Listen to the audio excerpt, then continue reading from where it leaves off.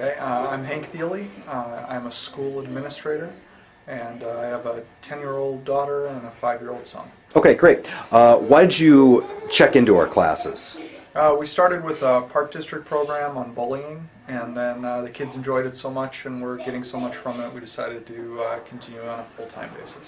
What did you, you know, what so far, especially with the kids first, what so far have you really gained out of uh, classes? What have they gained out of classes?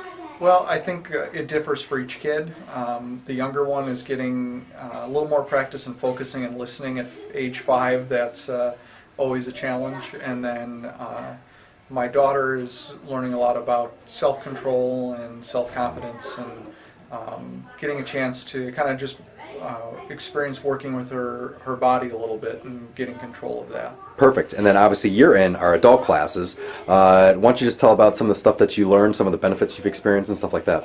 Well, for me, it's just nice to do something active. Um, you know, I, I try to get up and walk around the buildings a lot and uh, get out of my desk, but still you're spending a lot of time sitting in meetings and uh, not very active. So it's nice a couple of nights in a week if I can can make it that much to uh, get up and move around and sweat a little bit and just get out some energy. Excellent. Thank you so much.